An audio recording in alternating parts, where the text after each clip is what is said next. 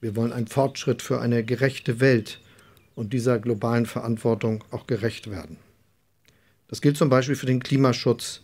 Wir haben uns deshalb hier unterhalten über die Frage eines Klimaclubs, den ich schon lange vorgeschlagen habe. Und ich freue mich deshalb, dass wir uns hier in Elmau darauf verständigt haben, einen solchen Klimaclub nun bis Ende dieses Jahres zu gründen. Wir haben das Fundament dafür gelegt, die tragenden Säulen definiert und die nächsten Schritte vereinbart.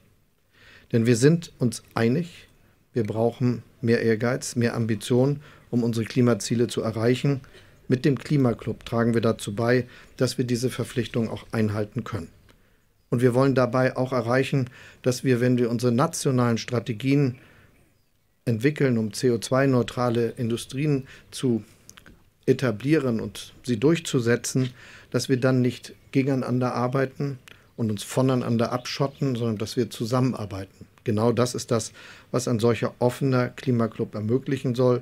Er soll erreichen, dass wir unsere Wettbewerbsfähigkeit erhalten und dass der Klimaschutz ein Wettbewerbsvorteil wird und kein Nachteil ist. Das gilt natürlich ganz besonders für die Energiewende, die wir nur hinbekommen können, wenn auch die Schwellen- und Entwicklungsländer dabei sein können. Und deshalb wollen wir auch die Grundlagen dafür legen, dass diese Länder das auch tatsächlich können.